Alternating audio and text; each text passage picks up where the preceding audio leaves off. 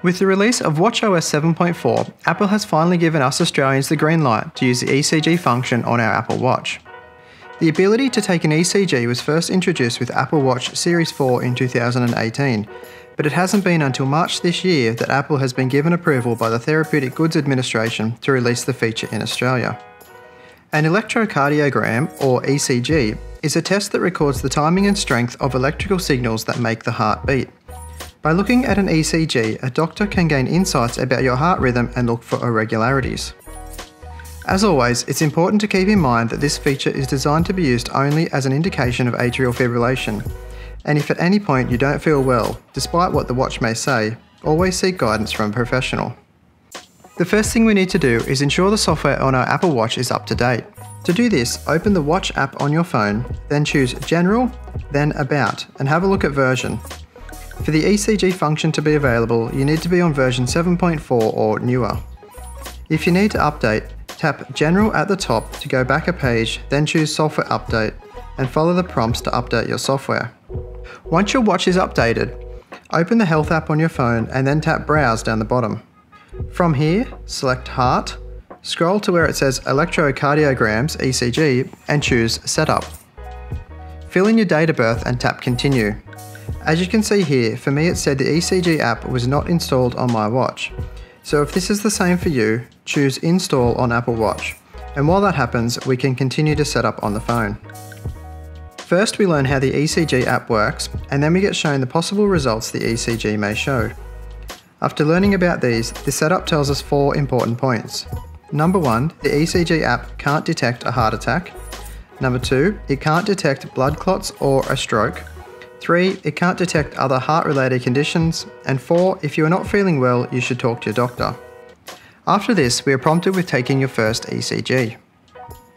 To do this, open the ECG app on your Apple Watch and then rest your arms on a table or in your lap and hold your finger on the digital crown. For this, you don't want to push the digital crown in, simply rest your finger against it. As you can see in my example here, the watch displays in real time your heart's electrical signals and also shows your heart rate. It takes 30 seconds to complete the test, after which you will be given a result in line with the options shown earlier. In my case, sinus rhythm, and this ECG does not show signs of atrial fibrillation. Once you have completed your first ECG, your phone will say setup is complete. To view your ECG results, open the Health app Tap Browse, then Heart, and then Electrocardiograms. From here, you can tap on any result to see more details about when the sample was taken, you can scroll across to see the extent of data captured, and also export a PDF of the result for your doctor.